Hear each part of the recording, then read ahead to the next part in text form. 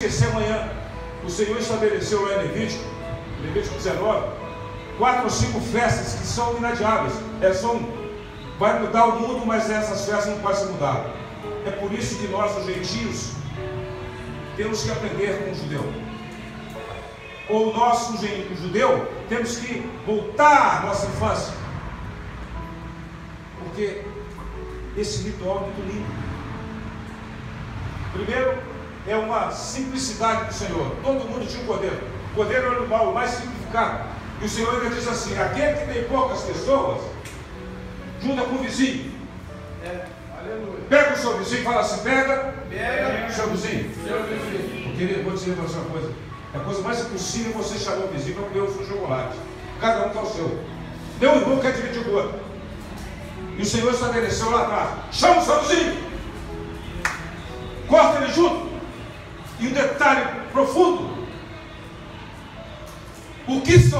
Joga fora.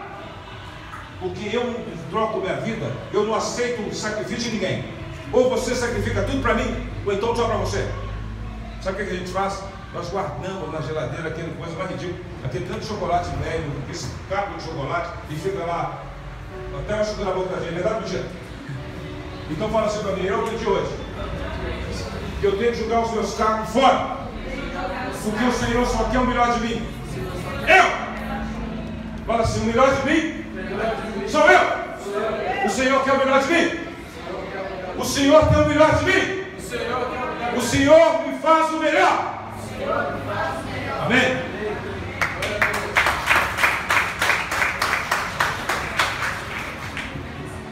Queridos, vamos abrir nossa Bíblia em Marcos 14. Agora eu já entendi, eu já entendi que a Páscoa é um mandamento. Em Marcos 14 eu, eu verifico a conversa do Senhor.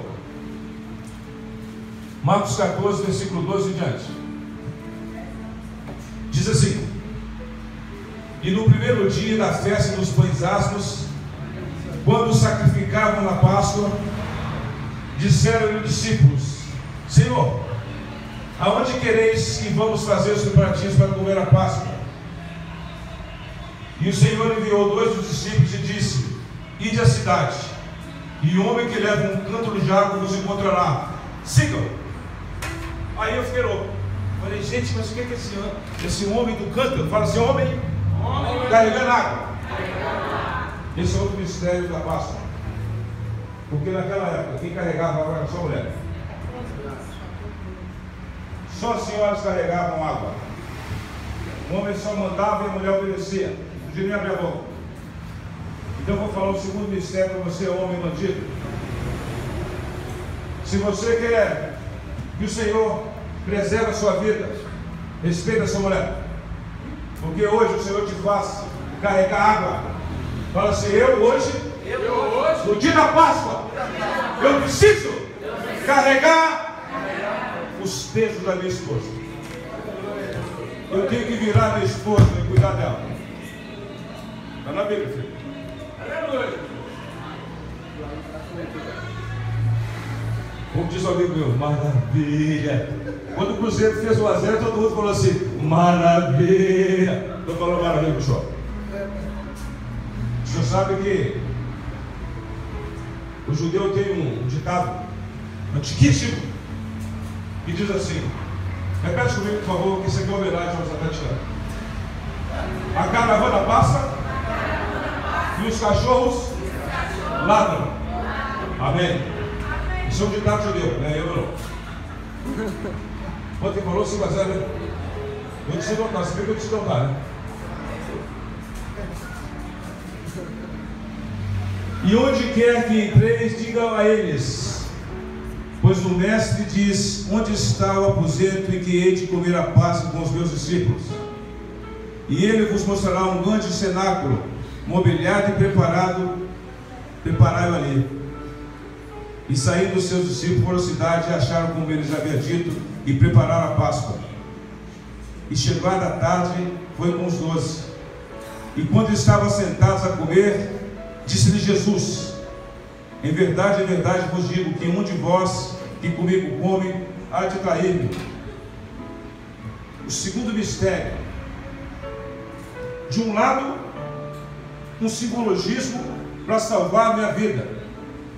Do outro lado, uma atitude para alguém tirar a minha vida. Fala assim: tirar, tirar. A, minha vida. a minha vida. Então eu vou dizer para você uma coisa. Se você não seguir os mandamentos do Senhor e não honrá-lo nesse dia da Páscoa, daqui para frente, você é um Judas, é um traidor. Porque o Senhor mandou preparar a última ceia dele. E na Santa Ceia foi lá comer o pão, repartir o pão que o, o Judas deu as suas carnes. Fala assim, o Judas deu a sua carne. Então eu vou dizer para você em nome de Jesus, muito humilde. Se você acha que uma festa, um almoço, resolve o problema de união da sua família, não resolve não. O que resolve a sua vida chama-se Jesus Cristo. Quem resolve a sua vida não é a festa, é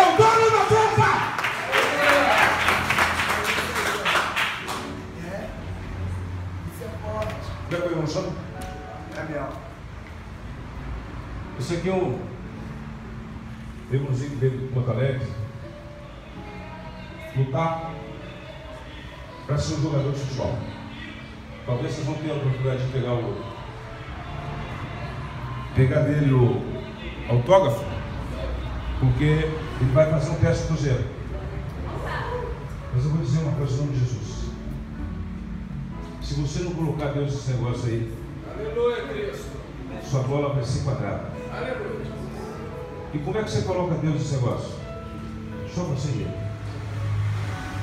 O porta-voz de você foi ele. Hoje, nós não somos juntos. Eu não quero. Eu não quero que você diga o, o que, que nós fizemos, qual foi, qual foi o tema da oração nossa hoje. O que, que a gente orou para quem? Para salvar o quê? Uma doença. De quem? De quê? Câncer. Queridos, deixa eu dizer para você. Nós nos reunimos hoje, no domingo de Páscoa, fizemos um culto na casa de pastor, ser humano honrado, ungido e fraco, entristecido. Ai, estadinho de mim. O Senhor para salvar, você apenas tem que pegar o cordeirinho e colocar nos umbrais da porta o sangue, só para o Senhor ver. Aleluia, Você acha que foi o sangue que não deixou o inimigo entrar na casa? Não, filho. É a fidelidade de você com o Senhor. É só isso que faz salvar. E nós oramos, pastor. A Praça Viva estava lá representada por todos nós. E eu chorei. E o choro do justo. O choro de conquista. O choro de vitória. Porque ele foi lá. Eu fiz o almoço. Nós almoçamos. Encheu a barriguinha. Foi bem tratado, como sempre, porque eles são lordes. Aliás, o apelido do Felipe para mim é Lorde. Eu chamei de Lorde. E nós oramos com o Senhor. Da seguinte ordem, seguindo o ritual Eclesiásticos.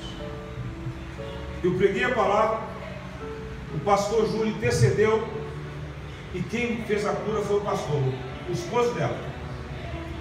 14 dias, pode ser bem. Oi. Daqui 14 dias está curado. Sabe por quê? Porque eu não sou nada. Mas nós somos tudo. Aleluia. Fala assim, eu, eu não, sou nada.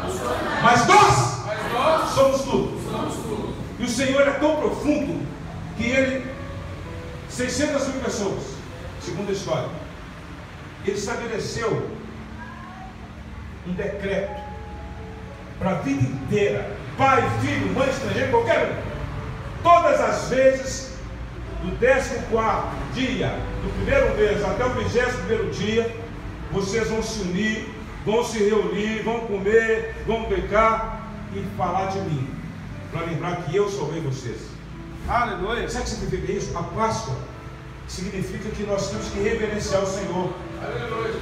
Fala assim, a Páscoa, a Páscoa é, uma festa, é uma festa de, esperança de esperança e de vida. E de vida. Glória a Deus. Eu vou continuar. Versículo 21. Na verdade, o filho do homem vai como dele está escrito. Mas ai daquele homem, porque um filho do homem é traído. Bom seria para o tal homem não haver nascido. Oi! Ninguém lê essa passagem bíblica. Ai daquele que traiu o Senhor. Antes houvera melhor não ter nascido. Por que será o Senhor, ao invés de falar, ai do Judas Iscariote, falou daquele homem? Porque nós traímos também, igual, igual, igual Judas. Às vezes nós traímos por 30 centavos. E como é que você trai o Senhor? É quando Ele te dá tudo, inclusive quando você está doente, quando você está sem condição nenhuma. O Senhor te dá um recado, manda um cachorro falar com você, qualquer um. E a gente não dá palavra, você não dá sinal, você fica querendo achar solução com o homem. É. Aí nós viramos juntos calhotes. Aí o Senhor fala aqui. Ele fala aqui de novo que eu vou ler. Na verdade, o filho do homem vai como dele está escrito, mas ai daquele homem por quem o filho do homem é traído. Bom seria para o tal homem não haver nascido. E comendo eles, tomou Jesus o pão e abençoando, partiu e deu e disse: Tomai, comei, esse é o meu corpo. E aqui, aquele que não conhece a palavra, ele fica um pouco esquisito. Como é que eu vou dar o meu corpo para você comer? Não, filho, deixa eu dizer para você, chama-se humildade. Você tem que aprender a dar o melhor de você para o. Aleluia. E quando, e quando eu dou o meu corpo para você, é o melhor que eu tenho. Porque eu sem corpo não sou nada. Então eu dou tudo para você.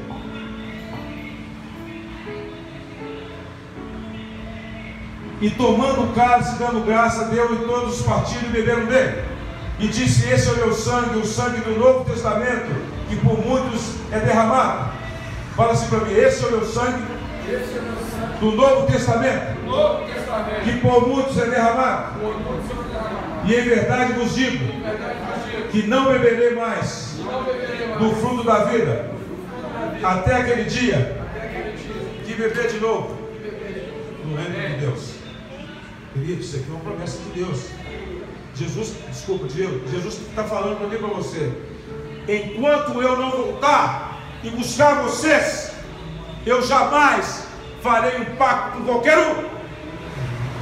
Eu estou fazendo um pacto com vocês, meus doze discípulos, representantes do mundo. Enquanto eu não voltar, lá no reino não farei isso com mais ninguém. Glória a Deus. Pastor? Não está chorando.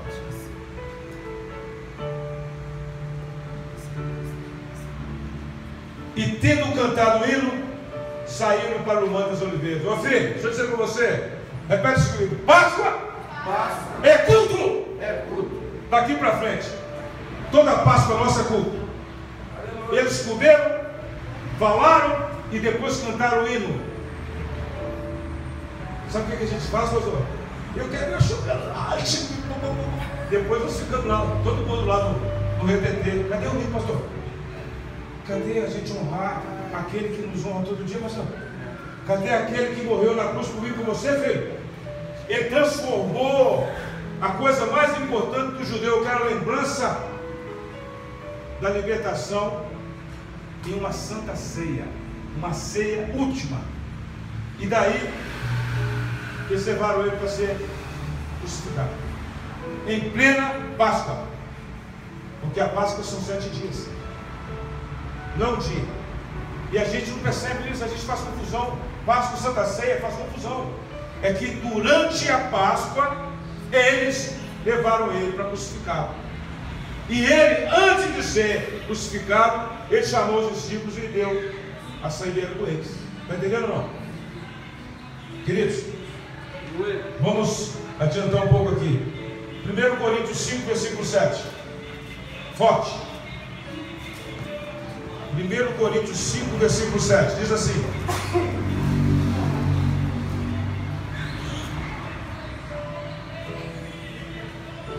Alimpai-vos, pois, o fermento velho, para que sejais uma nova massa. Fala assim: uma nova massa. Uma nova massa. Assim como estáis sem fermento, porque Cristo, nossa Páscoa, foi santificado por nós.